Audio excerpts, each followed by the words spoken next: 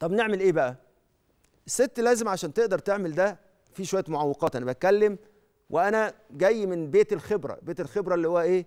جلسات الإرشاد الزواجي وتأهيل المقبلين على الزواج.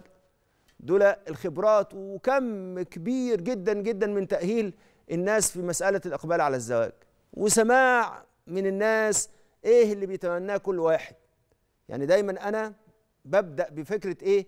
إيه اللي بيتمناه؟ خلينا نقول إن الصفات السبعة بتاعت الرجل والصفات السبعة بتاعت المرأة هي أمنيات كل واحد فيهم.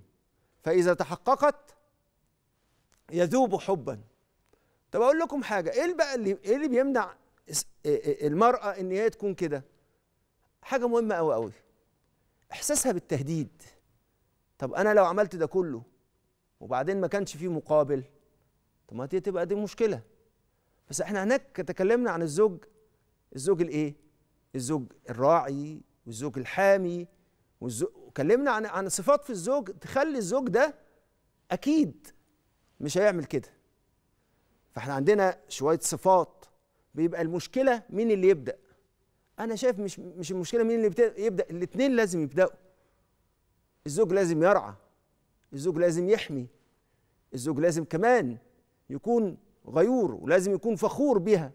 تخيل كده لما هو يكون فخور بيها فحاسس إن هي نعمة فهي أكيد هتمتن واكيد هتعبر عن حبها في وسط الناس. فلازم إحنا الاثنين دايما بسميها التغذية المتبادلة. هو يشحنها بالمحبة والتقدير وإحساسه بإن هي امرأة كاملة. وأنا ليه بتكلم عن الصفات دي؟ الصفات دي اللي تخلي الزوج إنه يحس إن هو تزوج امرأة كاملة مش امرأة صورة امرأة. ولا امرأة أنا بسميها امرأة الفاترينا لو هو لما بيجي يتجوز بيتجوز المرأة الكاملة. المرأة اللي المرأة الكاملة من مجاميعه. زي ما بيقول كده. فهو هنا بيحس إن هي ملكه قلبه. طب تعمل إيه المرأة؟ أول حاجة تشيل وهي بتتعامل عشان تقدر تنفذ ده المخاوف. لأن المخاوف دي بتخليها ما تقدرش تكمل. بتقف في نص الطريق بتعطل. الست بتعطل في النص. تيجي بعد بعد شهر جواز عملت الحاجات اللي إحنا بنقولها دي تيجي تقول له وبعدين؟ أنا هفضل طول حياتي كده؟ لو سمحت أنا مش هفضل كده. وهو لسه يكون الراجل لسه بيدرك ببطء ولسه بيتعلم بيتعلم ولسه بيبتدي في ماكينة النضج. فهي تقول له لأ تعالى نقف بقى ونتحاسب. أنت ليه بتعمل كده؟ أنت ليه مهمني؟ أنت ليه كذا؟ أنت ليه كذا؟ أنت ليه كذا؟ أول ما يشوف أنت ليه كذا؟ أنت ليه كذا؟ أنت ليه كذا؟ لا دي مش مقدرة ظروفي. أنا لسه خارج أنا لسه عيوني مش قادرة تفتح من كتر الديون اللي أنا استدنتها. فهي جاية تعمل لي كل الانتقاد ده ومش قادرة تتفهم اللي أنا فيه. أنا بتكلم إيه؟ عن واقع بيوتنا. وعشان كده لازم الست تشيل المخاوف اللي في المخاوف اللي ماليه قلوبها الماليه قلبها وتنشغل بإيه؟ بهذه الصفات. الأمر الثاني إن لو في صفة مش قادرة تعملها لازم تتدرب عليها. لازم تتلقى تدريب. وأنا أقول لكم حاجة إحنا مقصرين في تدريب المرأة وتدريب الزوجة لأن الزوجة دلوقتي مختلفة. الزوجة عندها أعمال كثيرة بتعملها. فلما نمهرها ونخليها صاحبة جدارة إحنا بنخفف عليها كل الأعباء اللي هي بتعيش فيها. فإحنا محتاجين ندربها كمان. فإحنا نقول لها كده لو في حاجة انت حاسة إن انت مش قادرة تعمليها اتدربي عليها. اتدربي عليها. زي إيه؟ زي بعض بعض الأحيان في بعض الزوجات ما بتقدرش تكون داعمة بشكل كبير.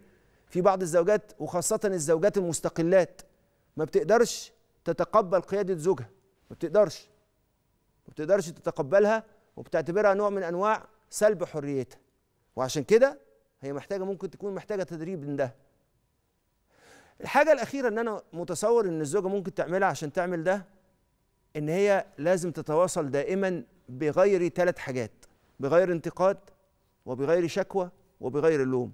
تتواصل وهي بتفكر في الحلول. ما تفكرش في إزاي ده هيفسد حياتها ولكن تفكر إزاي هي ممكن تخرج من أي ضيق إلى السعه أظن إن الصفات دي لو كانت موجودة في المرأة هي هتبقى أنثى كاملة وهتبقى مرأة جديرة بإن هي تملى قلب جوزها وتملى عينه. يا رب وفق بناتنا وفق الزوجات إلى انهن يفهمن أن هذه المسألة هي التي تفتح عليهم باب السعادة وباب الهنا وأن هذا الرجل الذي تزوجناه ليس عدوا ولكنه حبيب. وإذا عبرت له عن المحبة سيغمرها بالمحبة ويصبح أسيرا لهذا الحب الذي أخرجته من قلبه عن طريق هذه الصفات الحسنة. يا رب اجعل الزوجات متمكنات من هذه المفاتيح لقلوب الأزواج عشان يعيشوا ودايما يتكتب على أبواب بيوتنا هذا بيت يسكن